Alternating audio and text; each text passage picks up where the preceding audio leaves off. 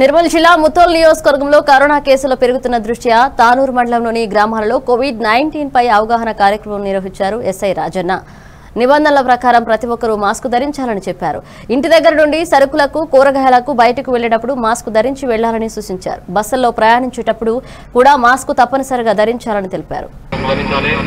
మన కిరాణా కానీ చికెన్ సెంటర్ కానీ మటన్ సెంటర్ కానీ వెళ్ళినప్పుడు కంపల్సరిగా మాస్క్ ధరించే బయటకు వెళ్ళాలి. మాస్క్ లేకుండా కిరాణా షాప్లో కిరాణా సామాన్లు కొనడానికి వస్తే కిరాణా షాప్ యజమానులు వాళ్ళకు సరుకులు ఇవ్వద్దు అని చెప్పి కోరుచున్నాం. అదేవిధంగా వాహనాల్లో ప్రయాణించేవారు వాహన డ్రైవర్ కంపల్సరీగా మాస్క్ ధరించాలి.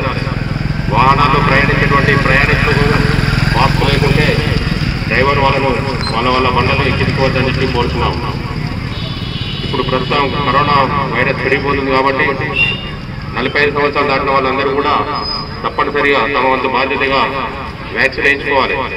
మన పిహెచ్సి సెంటర్లలో కోవిడ్ వ్యాక్సిన్ ఉచితంగా వేస్తారు. నలభై ఐదు సంవత్సరాలు దాటిన వాళ్ళందరికీ కూడా ఉచితంగా వేస్తారు. అందరూ కూడా బీపీ షుగర్ ఉన్న వాళ్ళు కూడా వ్యాక్సిన్ వేసుకోవచ్చు దానికి ప్రాణాలకు ఏమి ఇబ్బంది ఉండదు. ఖాళీ ఒక బాలింతలు ప్రెగ్నెంట్ ఉన్న లేడీస్ తప్ప మిగిలిన అందరూ కూడా వ్యాక్సిన్ వేసుకోవచ్చు అందరూ కూడా వ్యాక్సిన్ వేసుకొని కరోనా కట్టడికి అందరూ కూడా ప్రయత్నించాలని